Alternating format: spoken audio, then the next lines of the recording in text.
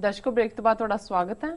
ਜੀ, ਡਾਕਟਰ ਸਾਹਿਬ, ਸਾਡੇ ਕੋਲ ਫੇਸਬੁੱਕ ਮੈਸੇਜ ਆਇਆ ਹੈ। ਵੀਰ ਜਸਵਿੰਦਰ ਸਿੰਘ ਜੀ ਦਾ ਇਹ ਲਿਖਦੇ ਹਨ, ਡਾਕਟਰ ਸਾਹਿਬ ਜੀ, ਤੁਸੀਂ ਬਹੁਤ ਹੀ ਵਧੀਆ ਵਿਚਾਰਾਂ ਪੇਸ਼ ਕਰਦੇ ਹੋ ਤੇ ਜ਼ੋਰ ਸ਼ੋਰ ਨਾਲ ਇਹੋ ਜਿਹੇ ਪ੍ਰੋਗਰਾਮ ਹਰ ਰੋਜ਼ ਹੀ ਦਿਆ ਕਰੋ, ਕਿਉਂਕਿ ਆਪਣੇ ਸਿੱਖ ਧਰਮ ਵਿੱਚ ਕਈ ਬਹੁਤ ਢੀਠ ਕਿਸਮ ਦੇ ਲੋਕ ਨੇ, ਜਿਹੜੇ ਮੰਨਣ ਨੂੰ ਤਿਆਰ ਹੀ ਨਹੀਂ ਕਿ ਸਾਡੀ ਕੌਮ ਨਾਲ ਕਿੰਨੀਆਂ ਬੇਇਨਸਾਫੀਆਂ ਹੋਈਆਂ ਤੇ ਅਜੇ ਵੀ ਹੋ ਰਹੀਆਂ ਹਨ। ਮੈਨੂੰ ਪੂਰੀ ਉਮੀਦ ਹੈ ਕਿ ਤੁਹਾਡੇ ਇਹਨਾਂ ਪ੍ਰੋਗਰਾਮਸ ਨਾਲ ਇੱਕ ਦਿਨ ਇਹਨਾਂ ਢੀਠ ਕਿਸਮ ਦੇ ਲੋਕਾਂ ਦੇ ਦਿਮਾਗ ਵਿੱਚ ਇੱਕ ਨਾ ਇੱਕ ਦਿਨ ਜ਼ਰੂਰ ਇਹ ਗੱਲ ਪੈ ਜਾਣੀ ਹੈ ਕਿ ਸਾਡੇ ਨਾਲ ਕਿੰਨੀਆਂ ਬੇਇਨਸਾਫੀਆਂ ਹੋ ਰਹੀਆਂ ਹਨ।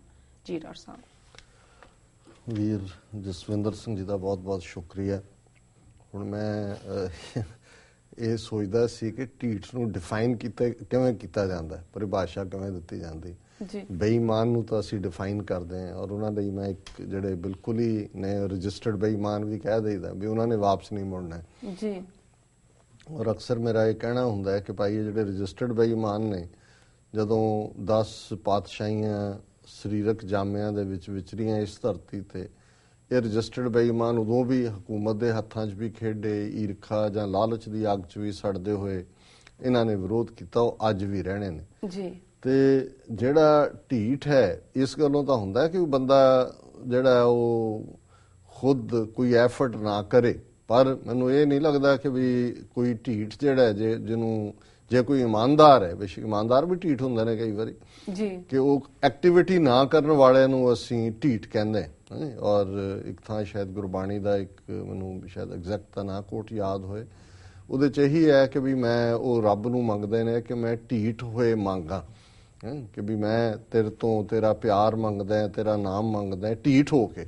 ਢੀਠ ਦਾ ਮਤਲਬ ਪਰਸਿਸਟੈਂਟ ਵੀ ਹੁੰਦਾ ਕਿ ਵੀ ਜਿਹੜਾ ਇੱਕ ਪਾਸਿਓਂ ਜਿਹੜਾ ਉਹਨੂੰ ਮਨਾ ਵੀ ਕੀਤਾ ਜਾਏ ਸਕਦੇ ਹਾਂ। ਇੰਸ਼ੋਰੈਂਸ ਏਜੰਟਾਂ ਦੇ ਹਵਾਲੇ ਨਾਲ ਖਾਸ ਤੌਰ ਤੇ ਟੁਕਦਾ ਜਿਵੇਂ ਉਹ ਅਕਸਰ ਇਹ ਸੁਣਾਉਂਦੇ ਨੇ ਕਿ ਵੀ ਉਹ ਚੜ ਗਿਆ ਉਹਦੇ ਪੌੜੀਆਂ ਉਹਨੂੰ ਦੱਸਣ ਲੱਗਾ ਜੀ ਆਹ ਸਕੀਮ ਹੈ ਇਹਦੇ ਚ ਇਹ ਫਾਇਦਾ ਹੋਏਗਾ। ਉਹਨੇ ਕਿਹਾ ਦੇਖ ਮੈਂ ਇੰਸ਼ੋਰੈਂਸ ਵਗੈਰਾ ਨਹੀਂ ਲੈਣੀ ਕੋਈ ਵੀ ਤੂੰ ਚੱਲ ਮੇਰਾ ਕੰਮ ਦਾ ਵਕਤ ਹੈ।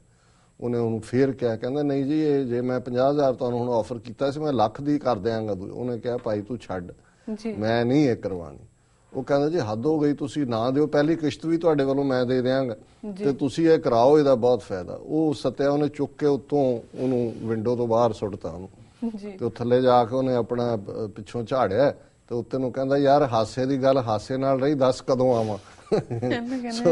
ਸੋ ਇੱਕ ਤਾਂ ਇਹ ਹੈ ਇਹ ਕਾਰੋਬਾਰੀ ਮਾਮਲੇ ਦੇ ਢੀਠ ਨੇ। ਹਾਂਜੀ। ਹੁਣ ਇਹ ਕਿਉਂ ਜੇ ਢੀਠ ਨੇ ਕਿ ਭਾਈ ਜਿਨ੍ਹਾਂ ਨੂੰ ਇਹ ਵੀਰ ਕਹਿੰਦੇ ਨੇ ਕਿ ਭਾਈ ਇਹਨਾਂ ਨੂੰ ਅਸੀਂ ਰੋਜ਼ ਸਮਝਾ ਹੁਣ ਅਸੀਂ ਠੇਕਾ ਲਿਆ ਇਹਨਾਂ ਢੀਠਾਂ ਦਾ ਕੋਈ ਹੋਰ ਵੀ ਕੋਈ ਹੱਥ ਪੈਰ ਪਹਿਲੀ ਗੱਲ ਤਾਂ ਇਹ ਹੈ ਕਿ ਮੈਨੂੰ ਨਹੀਂ ਲੱਗਦਾ ਕਿ ਵੀ ਇਸ ਕਿਸਮ ਦੇ ਢੀਠਾਂ ਨੂੰ ਜੇ ਤੁਸੀਂ ਕੋਈ ਘੋਲ ਕੇ ਪਿਆ ਦਿਓ ਜਾਂ ਕੋਈ ਸਮਝਾ ਦਿਓ ਤੇ ਉਹ ਐਕਟਿਵਿਸਟ ਬਣ ਜਾਣਗੇ ਇਵੇਂ ਨਹੀਂ ਹੁੰਦਾ ਹੈ। ਮੈਂ ਸਮਝਦਾ ਵੀ ਠੀਕ ਹੈ ਔਰ ਅਸੀਂ ਰਿਐਕਟਿਵ ਅਪਰੋਚ ਵੀ ਨਹੀਂ ਰੱਖਣਾ ਚਾਹੁੰਦੇ। ਇਸ ਦੇ ਇਸ ਪ੍ਰੋਗਰਾਮ ਦਾ ਦਾਇਰਾਕਾਰ ਅਸੀਂ ਇੱਕ ਹੈਲਥੀ ਫੋਰਮ ਹੈ ਔਰ ਸਾਨੂੰ ਖੁਸ਼ੀ ਹੈ। ਅੱਜ ਵੀ ਅ, ਰਿਚਮੰਡ ਹਿਲ ਗੁਰਦੁਆਰਾ ਸਾਹਿਬ ਜਿਹੜੇ ਜਿਨ੍ਹਾਂ ਵੀਰਾਂ ਨਾਲ ਗੱਲ ਹੋ ਰਹੀ ਸੀ ਉਹ ਸਾਰੇ ਇਸ ਗੱਲੋਂ ਖੁਸ਼ ਨੇ ਕਿ ਬਹੁਤ ਸਾਰੇ ਯੰਗਰ ਜਿਹੜੇ ਬੱਚੇ ਬੱਚੀਆਂ ਨੇ ਇਸ ਪ੍ਰੋਗਰਾਮ ਦੇ ਨਾਲ ਉਹ ਜੁੜੇ ਨੇ ਉਹ ਇੰਟਰੈਕਟ ਕਰਦੇ ਨੇ ਲਿਖਦੇ ਨੇ। ਜਿਹੜੇ ਪੜਨ ਦੇ ਸ਼ੌਕ ਵਾਲੀ ਗੱਲ ਹੈ ਉਹ ਸਾਨੂੰ ਉਹਨਾਂ ਚੋਂ ਨਜ਼ਰ ਆਉਂਦੀ ਹੈ। ਸੋ ਇਹਨੂੰ ਅਸੀਂ ਇੱਕ ਕ੍ਰੀਏਟਿਵ ਬਜਾਏ ਇਸ ਦੇ ਕਿ ਅਸੀਂ ਬਾਰ-ਬਾਰ ਉਹਨਾਂ ਨੂੰ ਹੀ ਦੱਸੀ ਜਾਈਏ ਆਪਣਿਆਂ ਨੂੰ ਹੀ ਜੀ ਤੁਹਾਨੂੰ ਕਿਉਂ ਲੋੜ ਹੈ ਨਹੀਂ ਮੇਰਾ ਖਿਆਲ ਹੈ ਵੀ ਜਿਹਨੂੰ 30 31 ਸਾਲ ਚ ਵੀ ਸਮਝ ਨਹੀਂ ਆਇਆ ਉਹਨੂੰ ਤੁਸੀਂ ਹਾਂ ਜਿਹੜੇ ਨਵੇਂ ਨੇ ਯੰਗਰ ਨੇ ਜਿਨ੍ਹਾਂ ਨੂੰ ਪਤਾ ਨਹੀਂ ਹੈ ਵੀ ਉਸ ਸਾਰੇ ਪੀਰੀਅਡ 'ਚ ਕੀ ਹੋਇਆ ਜੀ। ਕਿਸੇ ਗੈਰ ਸਿੱਖ ਨਾਲ ਤੁਸੀਂ ਇੰਟਰੈਕਟ ਕਰਦੇ ਹੋ ਉਹ ਪੁੱਛਦਾ ਹੈ ਕਿ ਭਾਈ ਤੁਹਾਨੂੰ ਤੁਹਾਡੀ ਕੀ ਪ੍ਰੋਬਲਮ ਹੈ ਉੱਤੇ ਸਮਝ ਆਉਂਦੀ ਹੈ ਤੇ ਜਿਹੜੇ ਆਲਰੇਡੀ ਜਿਨ੍ਹਾਂ ਨੂੰ ਤੁਸੀਂ ਸਮਝਦੇ ਹੋ ਕਿ ਭਾਈ ਜਿਹਨੂੰ ਕੇਸ ਮਾਰੀ ਹੈ ਇੱਕ ਉਹ ਕੈਟਾਗਰੀ ਹੈ ਜਿਹਨੂੰ ਜਿਹਦੇ ਬਾਰੇ ਪੰਜਾਬੀ ਚ ਕਹਿੰਦੇ ਨੇ ਕਿ ਵੀ ਸੁੱਤੇ ਨੂੰ ਤਾਂ ਜਗਾਇਆ ਜਾ ਸਕਦਾ ਪਰ ਜਿਹਨੇ ਕੇਸ ਮਾਰੀ ਹੋਏ ਉਹ ਤਾਂ ਪਾਈ ਜਾਓ ਪਾਣੀ ਦੀ ਬਾਲਟੀ ਵੀ ਪਾਈ ਜਾਓ ਉਹਨੇ ਕਿ ਉਹਨੂੰ ਲੱਗਣਾ ਹੀ ਨਹੀਂ ਹੈ ਕਿ ਵੀ ਉਹਨੇ ਉੱਠਣਾ ਸੋ ਫਿਰ ਵੀ ਉਹਨਾਂ ਦਾ ਇਹ ਵਾਲਾ ਫਰੇਜ਼ ਮੈਨੂੰ ਜਰਾ ਚੰਗਾ ਵੀ ਲੱਗਾ ਮੈਂ ਕਿਹਾ ਚਲੋ ਹੁਣ ਇਹਨੂੰ ਜਰਾ ਐਕਸਪਲੇਨ ਕਰੀਏ। ਨਹੀਂ ਜੀ ਕੀ ਉਹਨੂੰ ਕਹਿੰਦੇ ਨੇ ਮਸਾਲੇ ਲਾਣਾ ਨਾ ਲੂਣ। ਮਿਰਚ ਲਾਣਾ ਜੀ। ਡਾਕਟਰ ਸਾਹਿਬ। ਸਾਡੇ ਕੋਲ ਅਗਲੀ ਈਮੇਲ ਆਈ ਹੈ ਵੀਰ ਪਰਮਜੀਤ ਸਿੰਘ ਜੀ ਦੀ। ਇਹਨਾਂ ਨੇ ਇੱਕ ਕਵਿਤਾ ਭੇਜੀ ਹੈ। ਇਹ ਲਿਖਦੇ ਹਨ ਸਤਿਕਾਰਯੋਗ ਡਾਕਟਰ ਸਾਹਿਬ ਜੀ ਅਤੇ ਸਮੁੱਚੀ ਟੀਮ ਨੂੰ ਵਾਹਿਗੁਰੂ ਜੀ ਕਾ ਖਾਲਸਾ ਵਾਹਿਗੁਰੂ ਜੀ ਕੀ ਫਤਿਹ। ਬੀਤੇ ਦਿਨੀ ਯੋਗਾ ਦਿਵਸ ਮਨਾਇਆ ਗਿਆ। ਇਸ ਮੌਕੇ ਪੰਜਾਬ ਦੇ ਇੱਕ ਗਰੀਬੀ ਨਾਲ ਲੜ ਰਹੇ ਕਿਸਾਨ ਦੇ ਦਿਲ ਦੀ ਆਵਾਜ਼। ਤੇਰਾ ਯੋਗਾ ਕਿਸੇ ਦੀ ਭੁੱਖ ਵਧਾ ਸਕਦਾ ਹੈ ਪਰ ਮਿਟਾ ਨਹੀਂ ਸਕਦਾ। ਪੇਟ ਨੂੰ ਠੀਕ ਕਰ ਸਕਦਾ ਪਰ ਪੇਟ ਦੀ ਅੱਗ ਬੁਝਾ ਨਹੀਂ ਸਕਦਾ। ਖਾ ਕੇ ਬੁੱਕ ਡਰਾਈ ਫਰੂਟ ਦਾ ਲੱਤਾਂ ਲਾ ਲੈਂਦੇ ਛਾਤੀ ਨੂੰ। ਦੱਸ ਅਸੀਂ ਕੀ ਸਿਰ ਚ ਮਾਰਨਾ ਤੇਰੇ ਕਪਾਲ ਭਾਤੀ ਨੂੰ। ਬੱਚੇ ਸਾਡੇ ਨੰਗ ਤੜੰਗੇ, ਸੜਕਾਂ ਉੱਤੇ ਘੁੰਮਦੇ ਭੁੱਖਣ ਪਾਣੇ ਨੇ। ਇਹ ਯੋਗ ਤਾਂ ਉਹਨਾਂ ਦੇ ਚੋਜ ਨੇ, ਜਿਨ੍ਹਾਂ ਦੇ ਢੋਲ 'ਚ ਦਾਣੇ ਨੇ। ਕੰਮਾਂ ਦੇ ਵਿੱਚ ਰੁੱਝੇ ਰਹਿੰਦੇ ਆ ਦਿਨੇ ਤੇ ਰਾਤੀ ਨੂੰ। ਦੱਸ ਅਸੀਂ ਕੀ ਸਿਰ 'ਚ ਮਾਰਨਾ ਤੇਰੇ ਕਪਾਲ ਭਾਤੀ ਨੂੰ। ਜੱਟਾਂ ਦੀ ਵਿਕਦੀ ਫਸਲ ਨਹੀਂ ਉਹ ਖੁਦਕੁਸ਼ੀਆਂ ਨੇ ਕਰਦੇ। ਤੈਨੂੰ ਯੋਗ ਦੀ ਪਈ ਐ ਬੇਰੁਜ਼ਗਾਰ ਟੈਂਕੀਆਂ ਤੇ ਚੜਦੇ ਕਿਹੜੇ ਚੁੱਲੇ ਡਾਈਏ ਤੇਰੀ 56 ਇੰਚ ਦੀ ਛਾਤੀ ਨੂੰ ਦੱਸ ਅਸੀਂ ਕੀ ਸਿਰ 'ਚ ਮਾਰਨਾ ਤੇਰੇ ਕਪਾਲ ਭਾਤੀ ਨੂੰ? ਜੀ ਡਾਕਟਰ ਸਾਹਿਬ। ਇਹ ਕਪਾਲ ਭਾਤੀ ਯੋਗਾ ਦੇ ਵਿੱਚ ਇੱਕ ਆਸਣ ਦਾ ਨਾਮ ਹੈ ਜਿਹਨੂੰ ਉਹਨਾਂ ਨੇ ਰੈਫਰ ਕੀਤਾ ਹੈ। ਇਹਨਾਂ ਦਾ ਸ਼ੁਕਰੀਆ ਪਰਮਜੀਤ ਸਿੰਘ ਜੀ ਦਾ। ਕਾਫੀ ਦਿਨ ਪਹਿਲਾਂ ਉਹਨਾਂ ਨੇ ਜਦੋਂ ਇੰਟਰਨੈਸ਼ਨਲ ਯੋਗਾ ਡੇ ਦਾ ਡਰਾਮਾ ਰਚਿਆ ਸੀ ਜੀ। ਮੋਦੀ ਗੈਂਗ ਨੇ ਤੇ ਉਦੋਂ ਉਹਨਾਂ ਨੇ ਭੇਜੀ ਸੀ ਔਰ ਉਹਨਾਂ ਨੇ ਠੀਕ ਕਿਹਾ ਕਿ ਭਾਈ ਜੇ ਕਿਸਾਨ ਖੁਦਕਸ਼ੀਆਂ ਕਰਦੇ ਨੇ ਬੇਰੁਜ਼ਗਾਰ ਟੈਂਕੀਆਂ ਤੇ ਚੜੇ ਨੇ ਢੋਲ ਚ ਦਾਣੇ ਨਹੀਂ ਤੇ ਅਸੀਂ ਤੇਰੀ ਛ- 56 ਇੰਚ ਦੀ ਛਾਤੀ ਜਿਹੜਾ ਉਹ ਉਹਦਾ ਫਰੇਜ਼ ਆਪ ਹੀ ਉਹ ਯੂਜ਼ ਕਰਦਾ ਸੀ ਜੀ ਔਰ ਇਹ ਸਾਰਾ ਯੋਗਾ ਦਾ ਡਰਾਮਾ ਇਹਨੂੰ ਕੀ ਕਰਨਾ ਹੈ। ਪਰ ਜਿਹੜੀ ਗੱਲ ਦੇਖਣ ਵਾਲੀ ਹੈ ਕਿ ਅੱਜ ਕਿਸ ਤਰੀਕੇ ਨਾਲ ਜਿਵੇਂ ਸ਼ਾਇਦ ਫਰੇਜ਼ ਤਾਂ ਇਹਨਾਂ ਦੀ ਜ਼ਬਾਨ ਚੋਂ ਹੀ ਆਇਆ ਹੈ ਕਿ ਸੁਸਰੀ ਕੀ ਤਰ੍ਹਾਂ ਸੌਂ ਗਏ ਜੀ।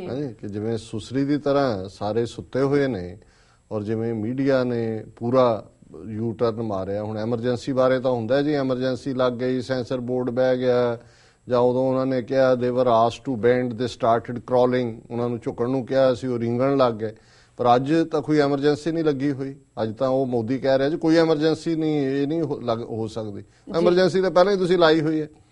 ਜਿਸ ਤਰੀਕੇ ਨਾਲ ਅੱਜ ਸਾਰਾ ਐਡਮਿਨਿਸਟ੍ਰੇਸ਼ਨ ਬਿਊਰੋਕ੍ਰੇਸੀ ਮੀਡੀਆ ਤੁਹਾਨੂੰ ਉੱਥੇ ਇੱਕ ਦੋ ਜਿਹੜੇ ਨੇ ਕਾਲਮਨਿਸਟ ਨੂੰ ਛੱਡ ਕੇ ਤੁਹਾਨੂੰ ਲੱਗਦਾ ਹੀ ਨਹੀਂ ਕਿ 1 ਬਿਲੀਅਨ 300 ਮਿਲੀਅਨ ਲੋਕਾਂ ਦੇ ਵਿੱਚ ਕਿੱਥੇ ਚਲੇ ਗਏ ਥਿੰਕਰ ਸਾਰੇ। ਜੀ। ਜਿਹੜੇ ਕਿ ਇੰਡੀਪੈਂਡੈਂਟਲੀ ਉਹ ਸਾਰੇ ਨੂੰ ਅੱਜ ਜੋ ਕੁਝ ਉੱਥੇ ਘੱਟ ਗਿਣਤੀਆਂ ਨਾਲ ਹੋ ਰਿਹਾ ਹੈ ਜੋ ਕੁਝ ਈਵਨ ਓਵਰਆਲ ਇਹਨਾਂ ਦੀਆਂ ਨੀਤੀਆਂ ਫਰਾਡ ਝੂਠ ਜੋ ਚੱਲ ਰਿਹਾ ਔਰ ਇਹ ਜਿਹੜਾ ਆ ਵੀ ਰਿਹਾ ਥੋੜਾ ਬਹੁਤ ਜੀ, ਲਲਿਤ ਮੋਦੀ ਨੇ ਇਹ ਕਿਹਾ, ਹੁਣ ਸੁਸ਼ਮਾ ਸਵਰਾਜ ਦੀ ਡਾਟਰ ਦਾ ਆਇਆ ਜੀ, ਪੰਜਾਬ ਗਵਰਨਮੈਂਟ ਨੇ ਉਹਨੂੰ ਫੇਵਰਸ ਦਿੱਤੀਆਂ ਹੋਈਆਂ ਉਹਨੂੰ ਹਾਇਰ ਕੀਤਾ, ਕਿੱਥੋਂ ਪੈਸੇ ਆਏ, ਉਹਦੇ ਸੁਸ਼ਮਾ ਸਵਰਾਜ ਦੇ ਘਰ ਵਾਲਿਆਂ ਨੂੰ ਕਿਸੇ ਥਾਂ ਤੇ ਉਹਨੇ ਡਾਇਰੈਕਟਰਸ਼ਿਪ ਆਫਰ ਕੀਤੀ ਲਲਿਤ ਮੋਦੀ ਨੇ।